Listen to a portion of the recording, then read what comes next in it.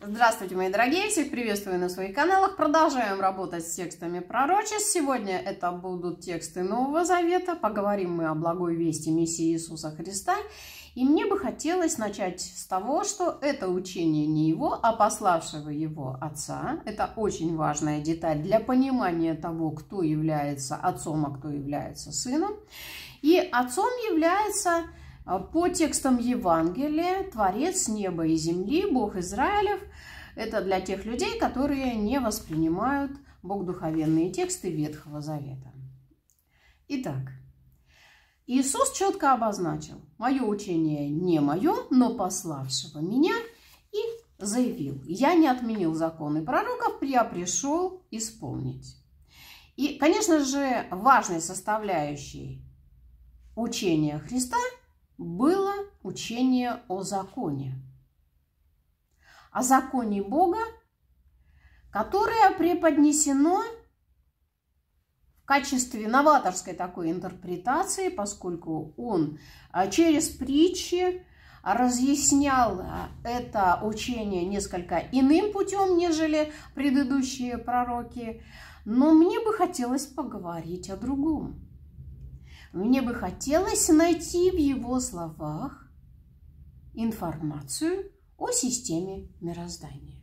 И если люди предыдущих веков не понимали, о чем говорит Мессия Иисус Христос, а его знания, понятно, были более объемными, нежели тех людей, которые его окружали, то мы, имея тот спектр знаний о мироздании и о человеке на сегодняшний момент, который есть у нас – можем понять его философские мысли в этом направлении для того, чтобы откорректировать собственные знания. Давайте начнем с понятия Дух Святой. Я вам говорила, что в текстах Ветхого Завета оно тоже присутствует и обозначен Дух Святой как премудрость Божия, а вот в текстах Нового Завета это понятие преподнесено двояко. С одной стороны, Бог есть Дух, о чем заявляет Мессия Иисус Христос. С другой стороны, Дух Святой от Отца исходит. Как это так? Что должны понять мы, люди 21 века, из этих двух фраз? Должны мы понять в первую очередь то, что если есть такие понятия, Значит, есть такая материя. Духовная материя, которая является невидимой частью бытия. Все, что существует в этом мире как понятие, является либо материей, либо ее проявлением, то есть ее свойствами. И если мы констатируем факт, что есть Бог, значит, мы должны понимать, что Он материален. Если мы констатируем факт о том, что есть Дух Святой, значит, мы должны понимать, что существует такое понятие во Вселенной, а значит, дух тоже материален. И это факт. Другое дело, что материя материи рознь. И не случайно у нас есть градация в текстах по поводу того, что есть плоть, есть тело душевное, а есть тело духовное. А значит, мы имеем двойную природу. Поскольку в нас есть проявление материи физического плана и есть проявление материи духовного плана. И то, и другое. Чего мы не можем сказать о Боге и о Духе Святом?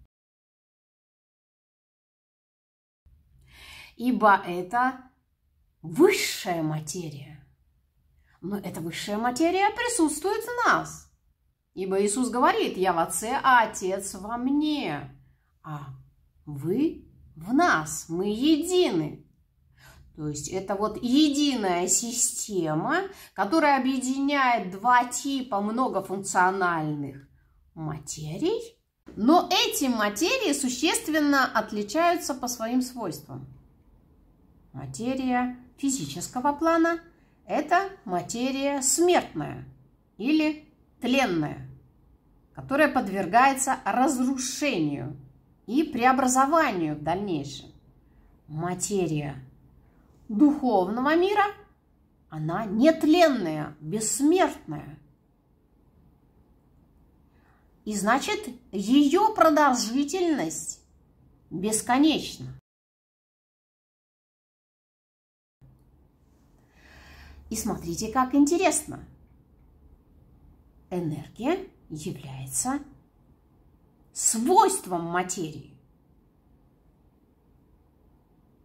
И если для того, чтобы существовала физическая материя, требуется энергия, которая вырабатывается посредством поглощения других энергий, потому что мы кушаем пищу, посредством метаболистических процессов, э, процессов, которые происходят в организме, и помимо этого физическая плоть систематически подпитывается духовной энергией. То есть энергией духовной материи. То есть сама по себе вот эта материя, материя физического плана существовать не может.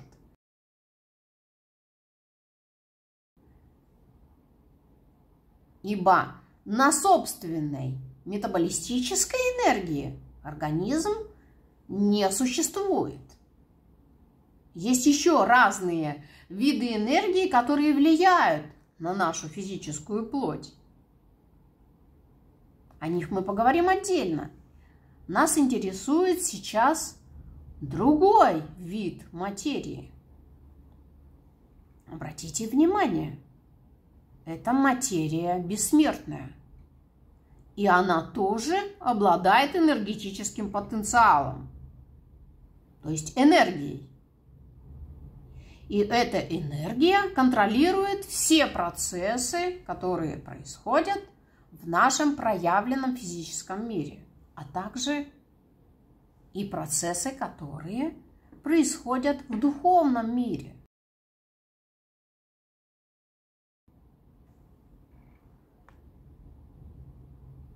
Ну, а теперь давайте вернемся к фразе «Бог есть Дух», и Дух Святой от Отца исходит. Я вам уже разъясняла, что Бог – это личность. И мы сотворены в Его образе. То есть внешне мы на Него похожи. Иисус доказывает это фразой, что вы видите меня уже так долго и никак не можете понять, что я похож на Отца. Тот, кто видел меня, тот видел Отца. Отец также молод, красив, и мы имеем его образ. Но есть существенное «но». Бог есть Дух. Потому что Он имеет тело, он антропологичен. У него есть руки, голова, ноги, абсолютно все, что есть у человека. Но его тело состоит из духовной материи.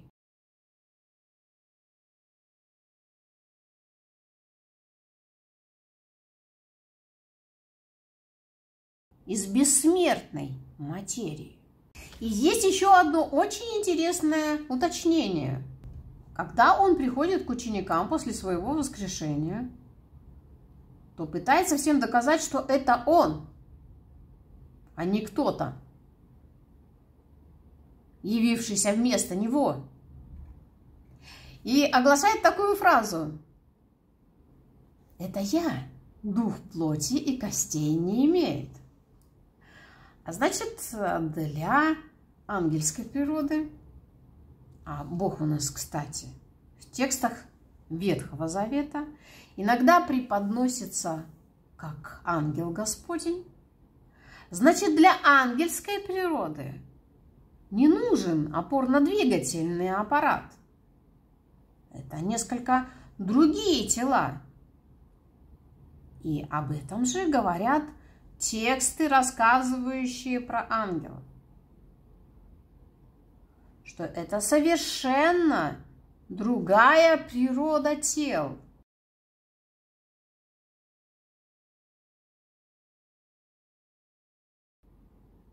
И Иисус нам говорит, вы будете как ангелы на небесах. То есть вы будете иметь такие же эволюционные наработки или такие же эволюционные новшества, как ангелы на небесах. Это не значит, что вас отправят на небеса. Ну, дорогие мои, если вы созданы для Земли, и ваши души живут на Земле, вы должны понимать, что это особая честь.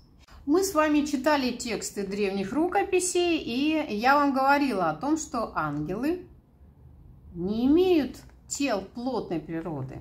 Они бесплотны. Но это материя духовного типа. Бессмертная материя. И есть очень интересная информация в текстах бытия о том, что на Земле в момент сотворения человека, который, кстати, был сотворен бессмертным, это он позднее получил физическую плоть, которая стала тленной. А изначально он был бессмертным. Так вот, сыны Божьи, имеющие плоть, были бессмертными. Но за то, что они стали совокупляться с дочерями человеческими, они потеряли этот бесценный дар. А что же они могли потерять? Какие особенности? Вот об этом Мессия Иисус тоже говорил. И не просто говорил, он еще это и показывал на собственном примере. Ну, во-первых, он воскрес. И заявлял о смерти достаточно интересно, что смерть есть сон. А значит, организм нетленной плоти, бессмертной плоти – может самовосстанавливаться, то есть систематически регенерировать. Это организм, который не стареет. В нем достаточно духовной энергии для того, чтобы он постоянно был молодым. В этом кроется причина, почему не узнавали Христа после его воскрешения. Просто-напросто произошло параллельное омоложение. И ему приходилось доказывать то, что это он, посредством раны, которая была умышленно оставлена для доказательства, и посредством преломления хлеба поскольку внешне он изменился. Следующее очень интересное свойство его организма после воскрешения – это то, что он мог очень быстро передвигаться. То есть речь идет о телепортации. Помимо этого, когда он появился среди учеников, он прошел сквозь стены. Потому что дверь была заперта. А значит, это способность тонкой материи или вот этих вот уникальных нетленных тел проходить через любую плотную материю. Еще одно свойство нетленного организма или нетленного тела, которое он продемонстрировал, это вознесение. Он воспарил, воспарил в небеса. То есть тело может становиться настолько легким, что справляется с притяжением Земли. То есть меняется гравитация. Помимо этого, очень интересная информация о том, что придя к своим ученикам, он попросил их приготовить ему рыбу и изволил покушать меда. Значит, э, те нетленные тела, которые обещает нам Бог, они не лишены чувственной природы. Поскольку пища это все-таки определенные желания, вкусовые качества. И самое интересное, конечно же, многих беспокоит наличие репродуктивных органов. У сынов Божьих в момент сотворения человека на планете Земля – были эти органы, и они умудрились создать гибридов с человечеством, то значит, антропологически мы от них не отличаемся.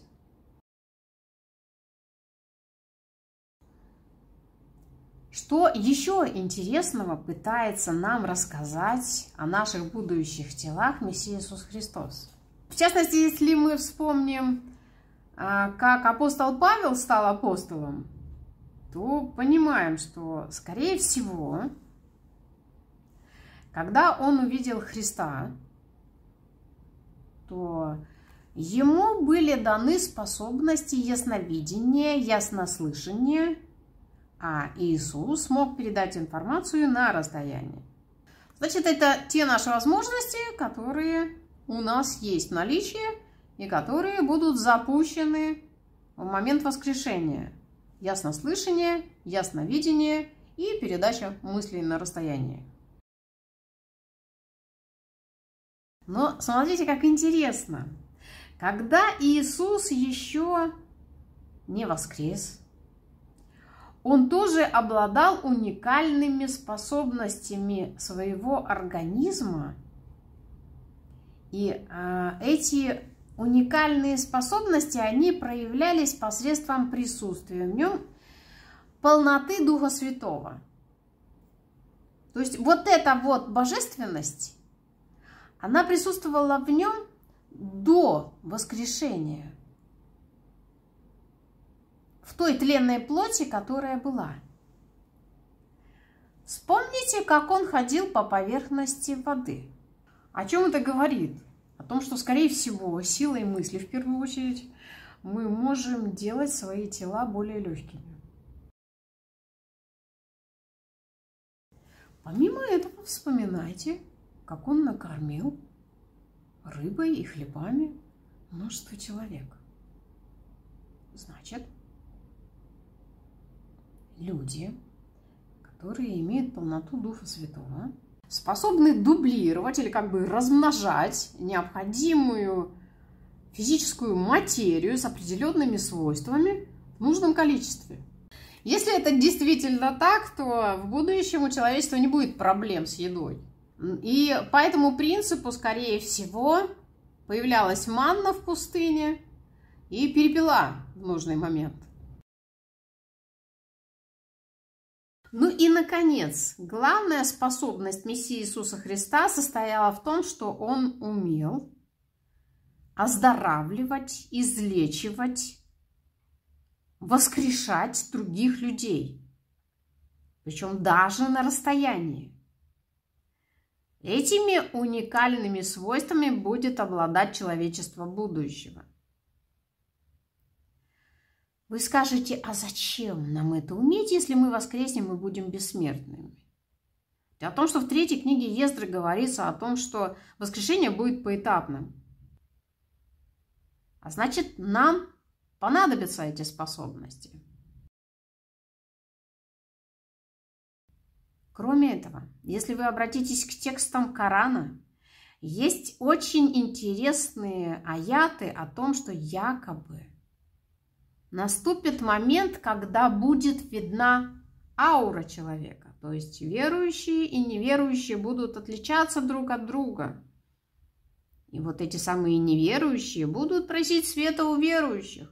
О чем говорит светящаяся аура? Ведь на сегодняшний момент не все люди видят э, ауру. Есть, конечно, люди со сверхспособностями.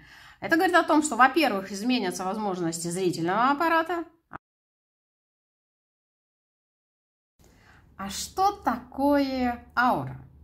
Аура – это наши тонкие тела, наши духовные тела. И если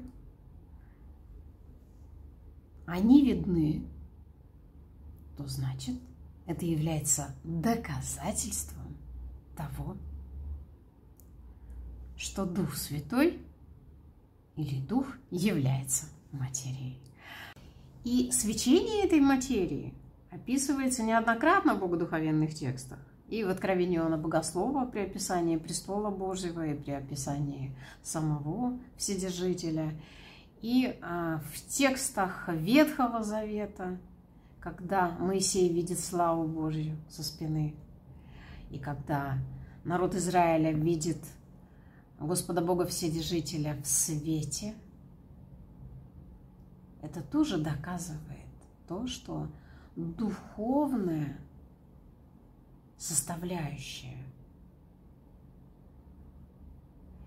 Или то божественное, что в нас присутствует, и то, что является основополагающей нашего бытия, является материей. И эта материя обладает свойствами, подобными той материи физического мира, которую мы видим визуально. А эта материя, которую мы видим, обладает звуком, светом, цветом и многими другими параметрами. Мы с вами выяснили, что дух есть материя. Зарождение образа, то есть зарождение мысли, в первую очередь Бога, а также и нашей мысли, происходит на уровне духовной материи. А значит, мысль материальна. На этом все. Всего вам доброго. До следующих встреч.